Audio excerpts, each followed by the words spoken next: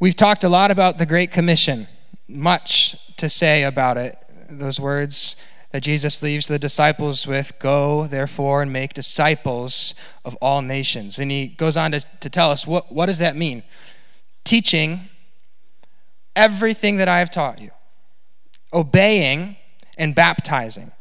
So Jesus gives these descriptors of what it means to be discipled that we would learn from Jesus in his message, that we would submit and obey to Christ in his message, which ultimately leads to the proclamation of what Christ has done for us in, in, in baptism. And so, the, the man we get to, to hear from today is a man who's passionate about discipleship, not, not just uh, simply sharing the gospel, which is a wonderful thing but we need people to share the gospel and to train believers. See, one of the most difficult parts about evangelism, we have a group going out today. What you'll find is one of the most difficult parts of evangelism is what happens when they say yes. What, what happens when that person says, Yes, I want to know about this Jesus? We need to be prepared not just to preach the gospel, but to make disciples. And so Jim Blumenstock is one of the, he's a dean over at Asia Biblical Theological Seminary. He's been there for over 20 years, 23 years now. He's a graduate of Grand Rapids Theological Seminary, which is now Cornerstone Theological Seminary. He and his wife have served there for 23 years. They're passionate about making disciples in Asia. He was telling me that they have uh, quite an interesting model for this. They, they go to the students in Asia to teach them. They don't really necessarily have one central location, but, but they long to see disciples, so they go and meet them where they're at. And he was telling me that they're stationed as, right now in four different countries in Asia, passionate about making disciples of Jesus Christ. So we're very blessed to be able to hear from him today. Will you join me in welcoming Mr. Jim Blumenstock?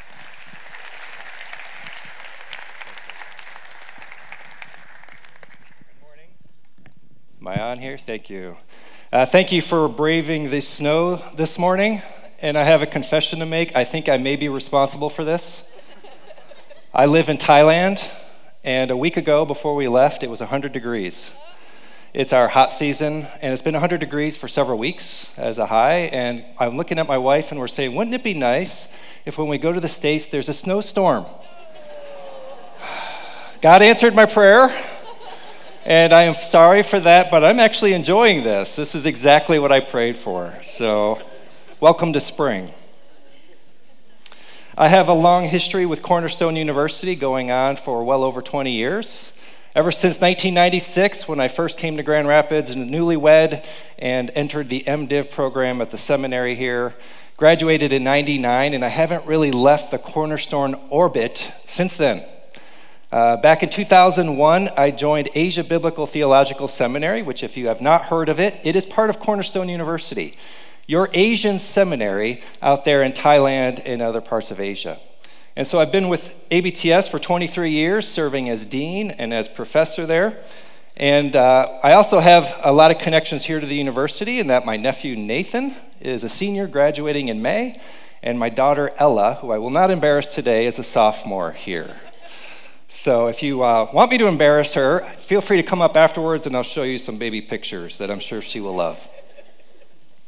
Well, I have the privilege of living in a part of the world where 26,000 people are coming to Christ every day. I just need a pause to let that sink in. 26,000 people coming to Christ throughout Asia every day. In fact, I think this is representative of perhaps the greatest story of our time. I don't know if you're aware of what is taking place in the majority world, but we are seeing for the first time a rapid shift, a seismic shift in world Christianity. If you were to look back to 1900, the world would have looked something like this.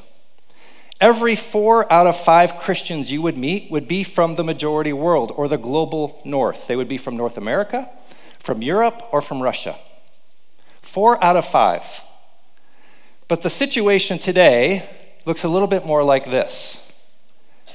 We are seeing a rapid growth in the majority world, which includes South America, Africa, and Asia. And it's happening at such a pace that I don't think the church really understands what God is doing in this part of the world and to the extent of this growth.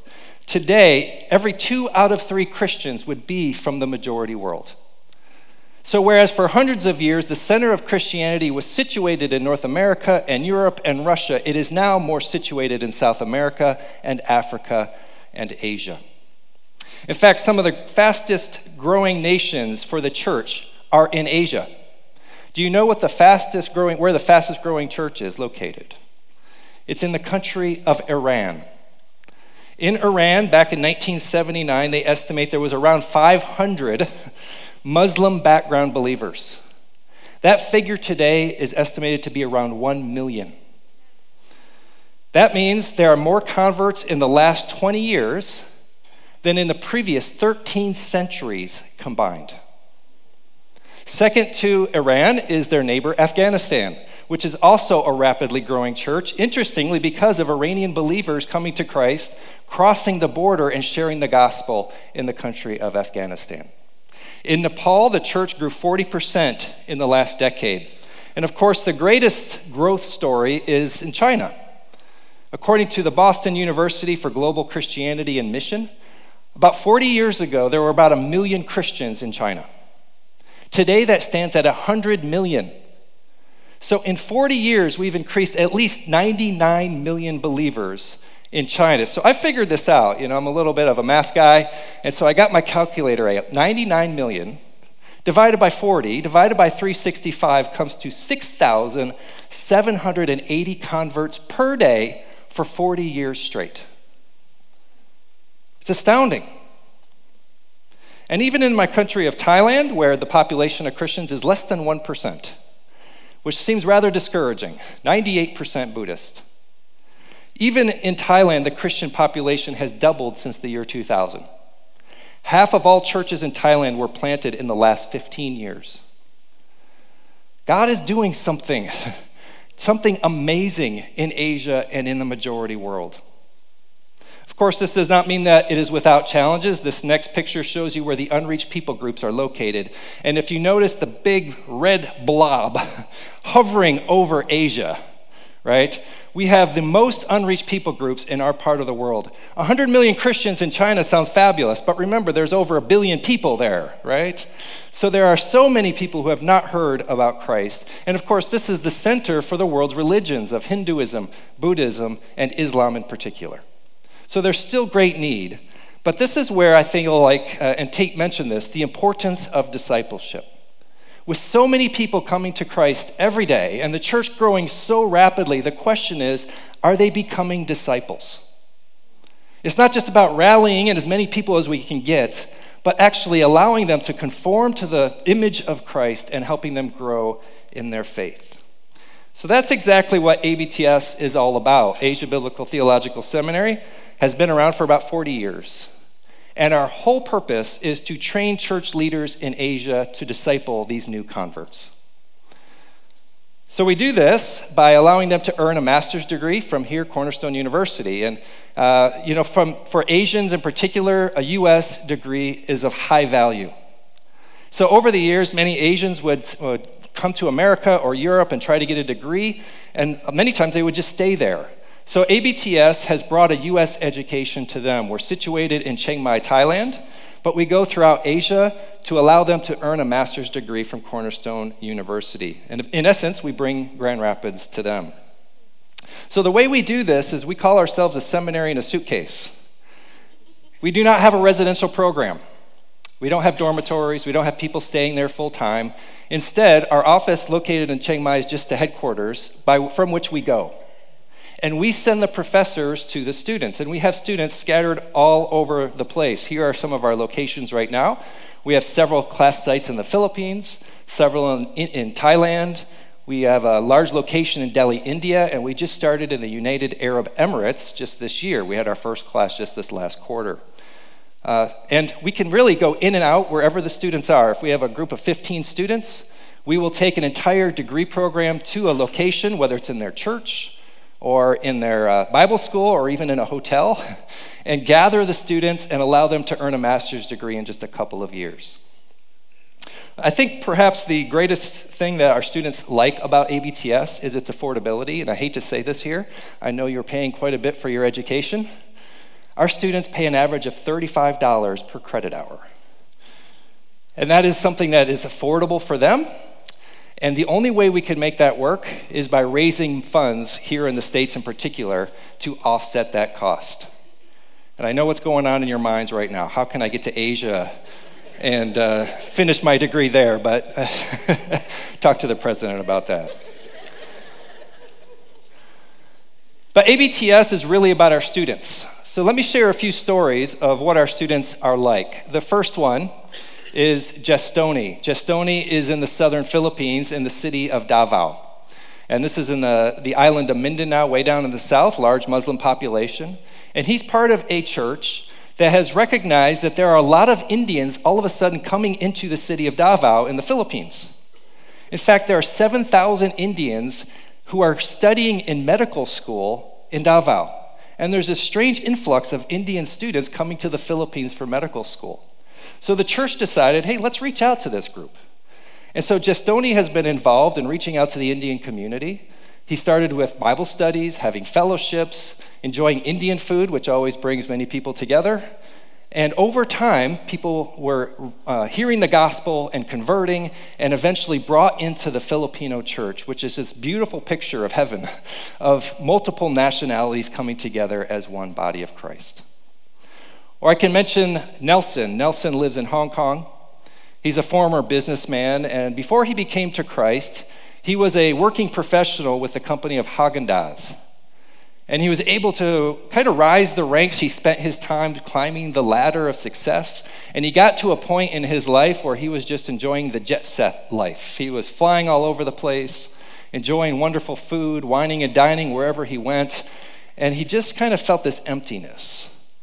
Yes, he reached the top, but it wasn't quite what he was expecting. So he heard the gospel, a friend shared the gospel with him. He converted and he realized, I need to do something different with my life. He ended up leaving the professional world and he started an NGO called Hope of the City. And he realized that so many immigrants from China are coming down to find a better life in Hong Kong. But they do so with extreme poverty and they're not able to find the work. And so they tend to congregate in one part of the city. So Nelson and his wife chose to live in that part of the city, an incarnational ministry, so they could reach out to these poor immigrant Chinese, sharing them with the love of Christ and showing them the love of Christ. Or perhaps I could tell you about Deborah. Deborah is in the city of Delhi. She's a professor of dentistry.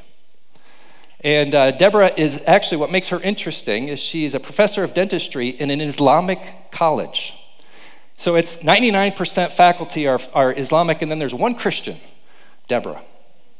And it's allowed for her to be salt and light in this very unique environment, so much so that after she's been there for so many years, the faculty of religious Islamic studies in the school invited her to do a talk, a presentation, and listen to the title of the presentation Faith in Jesus Christ and its Impact on Christians. She did this about four weeks ago. And when she presented, 80 people from the Islamic Studies Department came to hear her presentation, and it was published in the Urdu newspaper the next day. Or finally, let me tell you about Maria. Maria is a Filipina. She lives in Thailand as a missionary. And she's in a part of Thailand, in western Thailand, right on the border of Myanmar. And you're familiar with what's happening in Myanmar, right? There's a civil war taking place. Well, for so many years, people in Myanmar were fleeing a civil war that's been going on for decades. And as they flee uh, for the sake of their lives, they just have no home, they have no food, there's no income, and so they go into cross the border into Thailand. And many young ladies who cross the border into Thailand are looking for work. Well, there just happens to be some people here in Thailand who are at the border gathering these people and promising them jobs in the big city of Bangkok. So the ladies think, oh, this is great. So they join this person, ends up being they're going into prostitution. The sex trafficking trade in Thailand is notorious. And they're picking off these young girls from Myanmar and bringing them straight into the sex trade there in Bangkok. So Maria saw what was happening, and she realizes we need to do something to stem this. So she started something called Faith House. And Faith House is a, is a home where she is keeping, uh, allowing young women to stay there. And as they stay there, they get protection from all that's going on with the sex trade.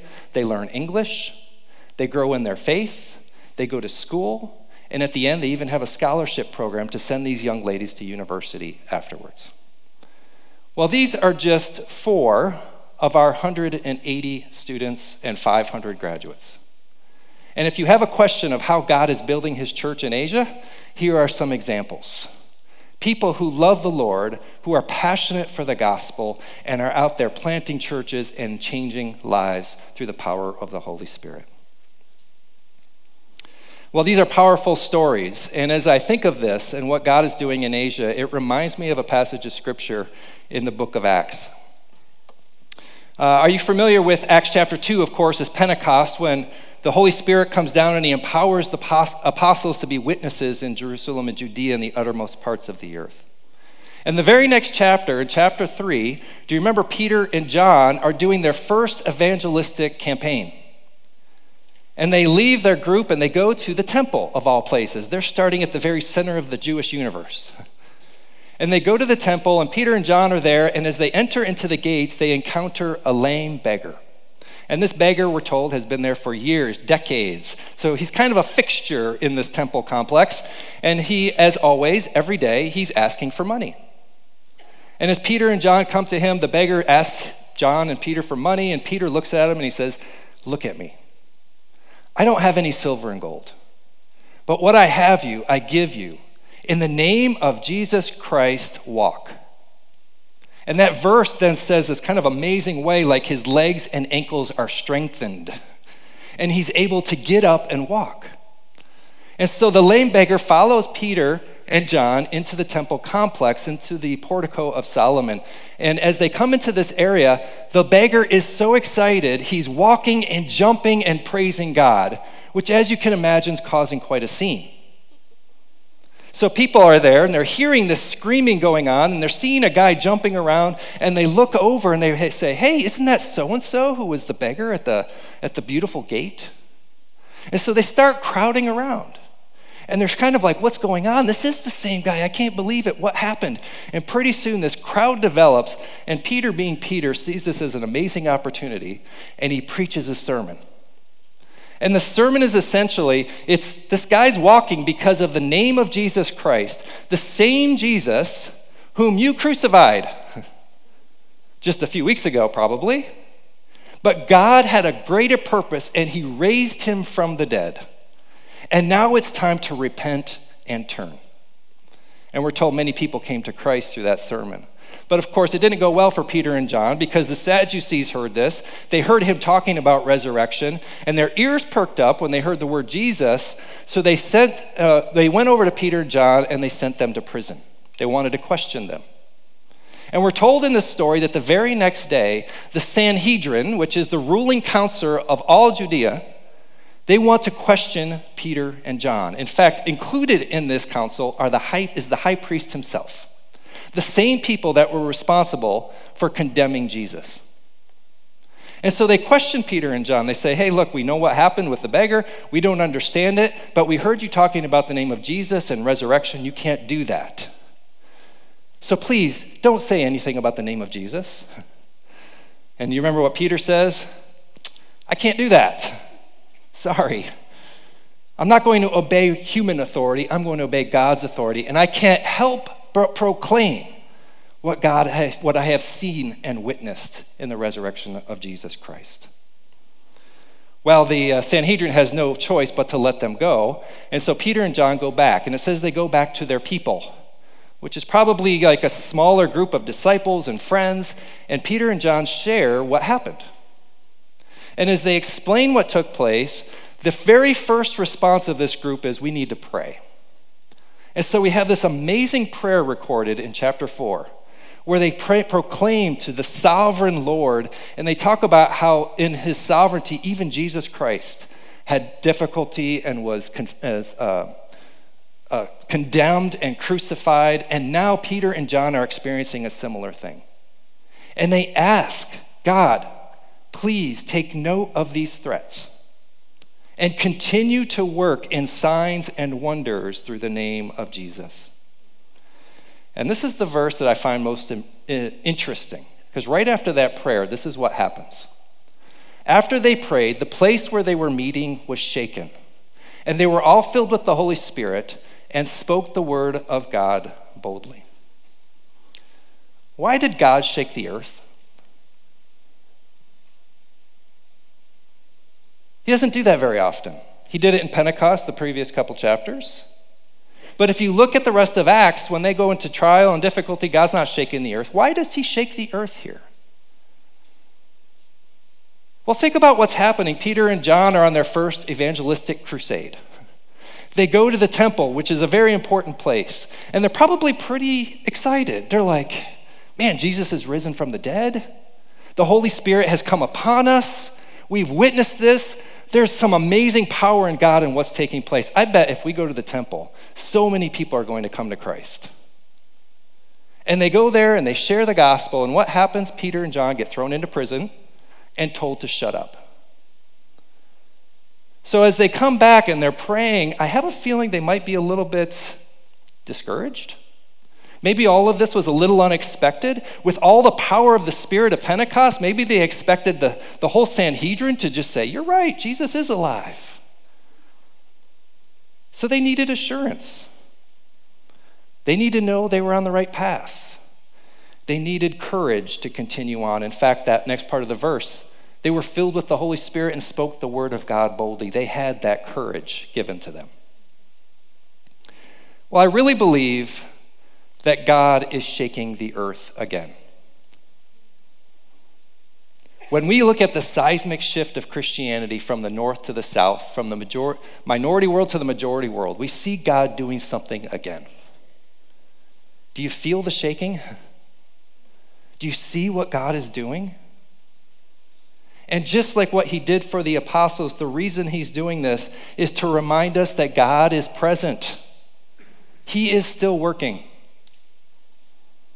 He is building his church, and he's doing this even through experiences of opposition. And so, as we think about this, I think we have to do a few things, or at least consider a few things. And one is we need to have an awareness of what God is doing right now in the world. You know, as I come back to the States, it seems like every year when I come back, the church is a little more discouraged than the previous year. There is a rise in religious nones. Those are people who say they have no religion whatsoever here in the States. There's a growing frustration with the church, especially among younger generations who are seeing the scandals and are tired of that and the authority that is represented there and are leaving the church in droves. There are cultural shifts taking place right now. And America is rapidly becoming a post Christian nation if it's not there already. And I think it's leading to this sense of despondency. What is the future of Christianity? Where is God in all this? Is He still working? And this is, I think, where it's important for us to take our eyes off of our immediate context, to no longer look at just America or even just the Western world, and to see a vision for what God is doing in the rest of the globe. Because when you see that story and the rapid rise of the church, it's encouraging to know that God is still working, isn't it? Christ is still building his church, and the gates of Hades will not prevail. It's just maybe he's not doing it right in our neighborhood. I believe this awareness brings encouragement, and I'd like to encourage you, as most of you are part of the American church, that God is still powerful he's still acting, he's shaking the earth once again. Secondly, involvement. What do we do with this?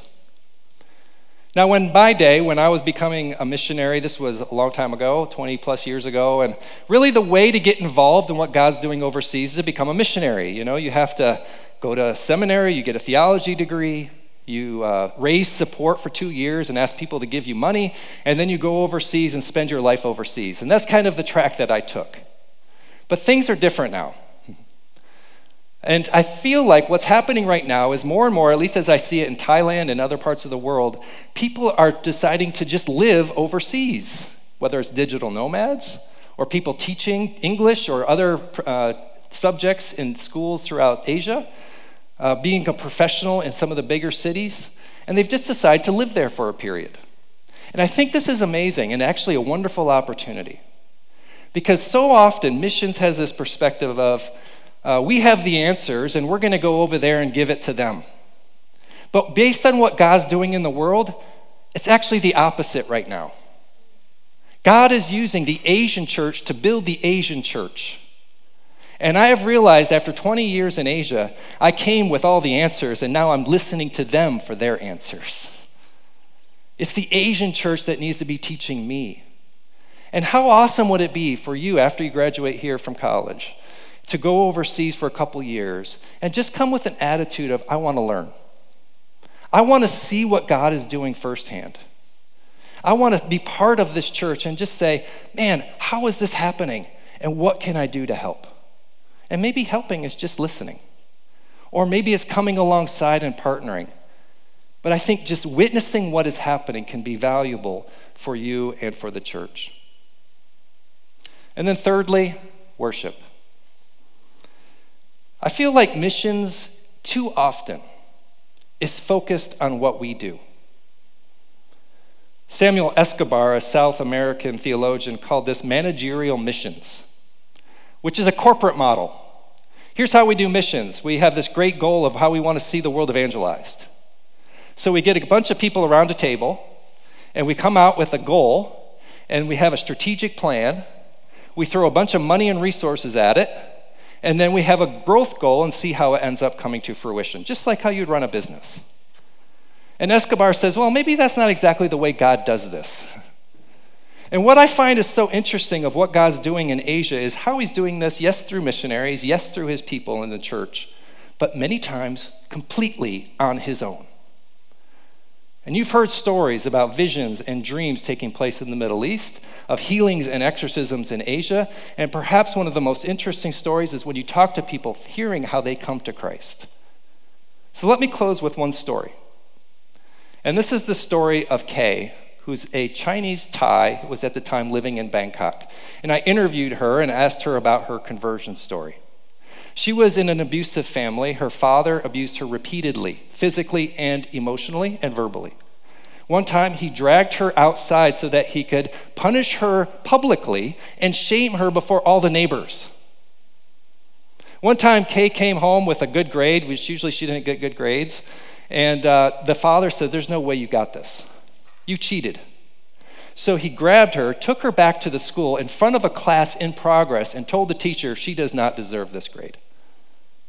And she gives me story after story of what was taking place. And it got so bad that during this time, she was depressed, she was discouraged, she was suicidal. In fact, she tried to kill her parents.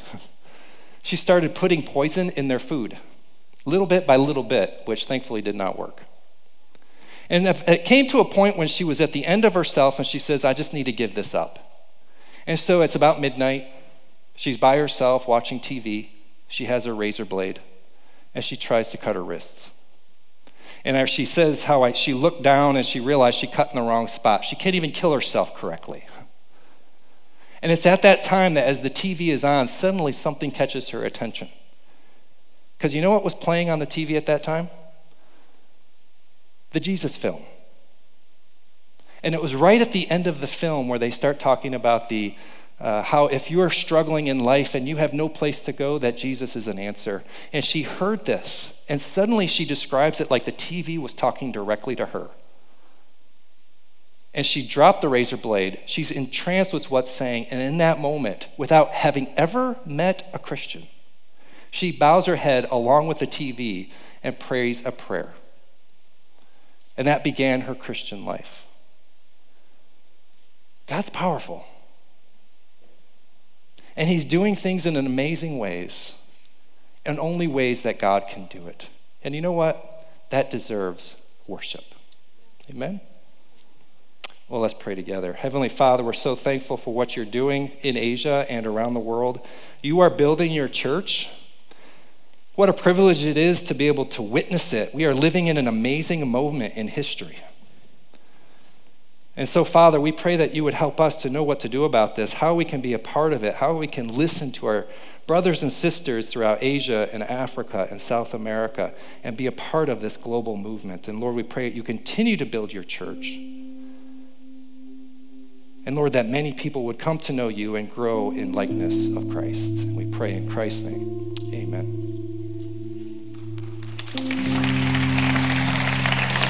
Please stand and worship with us.